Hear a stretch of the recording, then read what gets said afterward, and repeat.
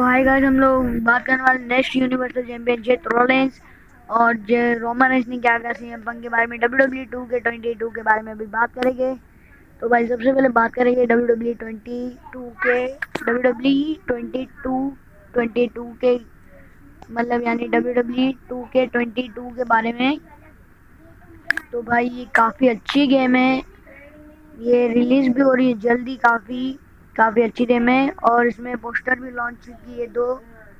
जैसे कि आप फ़र्स्ट देख सकते हो पोस्टर अपने स्क्रीन के सामने जहाँ पे ये ड्रू टायर है plastic warrior the psychopath former W W champion world आप अपने स्क्रीन के सामने देख पा रहे जो दूसरा पोस्टर है वो है एज का, जहाँ पे W W two K twenty two में एज अपना रिटर्न करते हुए दिखाई दे रहे हैं। तो ये भाई दो पोस्टर है। ये देखिए W W two K twenty two और ये देखिए भाई, दूसरा पोस्टर है इसका। तो भाई, एक और पोस्टर दिखाऊँगा कम से कम चार से पाँच पोस्टर लॉन्च कर दिए और रिलीज़ भी काफ़ी जल्द होगी।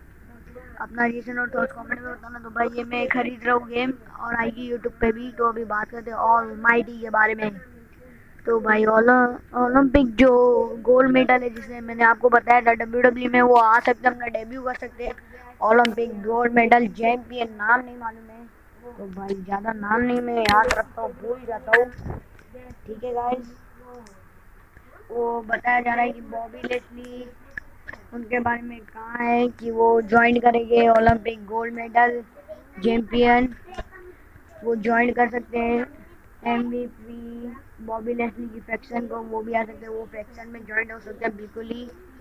तो भाई, ये सब के बारे में बताया बॉबी ने। बॉबी ने अगर ज्वाइन करते तो भाई अच्छा है। मैं बोली ज्वाइन कर ले इन, इन दोनों की फैक्शन को और आ जाए। डब्ल्यू डब्ल्यू समर स्लैम में वैसे भी इनका रूमर है डेब्यू तो भाई अपना रिलेशन और थॉट्स क्या रहेगा आपको कमेंट में बताना। तो भाई जल्दी से जल्दी लाइक करो जाके फॉलो कर दो। मैं बताना भूल जाता हूँ। अभी बात करते हैं हमारी अपडेट है जो कि रोमन रेंस और सीएम पंक के बारे में। जैसा कि आपको मालूम है गाइस सीएम पंक जा रहे एडब्ल्यू में।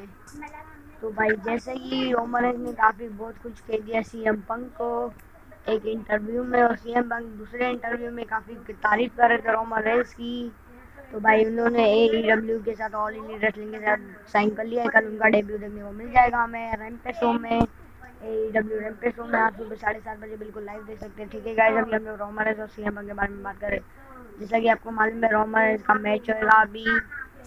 बिल्कुल। समर स्लैम में two thousand twenty one universal title के लिए। तो भाई सी एम पंक के बारे में बहुत कुछ कर दिया। मैंने एक वीडियो भी डाली है अपने चैनल पे, आप जाके चेकआउट कर सकते हैं बिल्कुल। मैंने लिंक भी दे दिया है नीचे के ऑफिशियल अकाउंट में।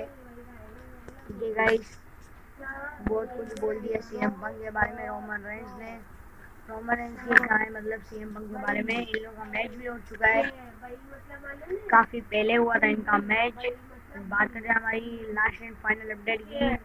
तो भाई ये जुड़ी हुई हमारे मंडे नाइट बसाया biggest Monday night Rollins Seth Rollins तो भाई जेट रॉलेंस की कल भी अपडेट आई थी। ठीक है गाइस तो अभी जेट रॉलेंस के बारे में बात करें तो भाई जेट रॉलेंस ने कहा मैं नेक्स्ट यूनिवर्सल होने वाला हूँ। यानी इनका मैच भी हो रहा है। तो भाई वो कौन से पेपर व्यू में? मैच होगा मैं भी आपको अभी यही बताऊँगा, ये वीडियो में। ठीक है गाइस तो जेत्रो ने मैंने कल बताया था, गुस्से में आते हैं कभी कभी हँसी मज़ा करते हैं, लेकिन वो तो अगली वीडियो थी। तो भाई अभी जैसे कि यही जेट्रॉनिक्स के साथ फ्यूड हो रही है एज की। दो मैचेस इधर कन्फर्म है बड़े बड़े एज बनाम जेट्रॉनिक्स दूसरा मैच है जॉन सिना बनाम रोमरेंस यूनिवर्सल टाइटल के लिए। तो भाई, अभी बताया जा रहा है एक्सट्रीम रूल्स दो हज़ार इक्कीस होगा उसमें हमें इन दोनों का मैच देखने को मिल सकता है यूनिवर्सल टाइटल के लेकर।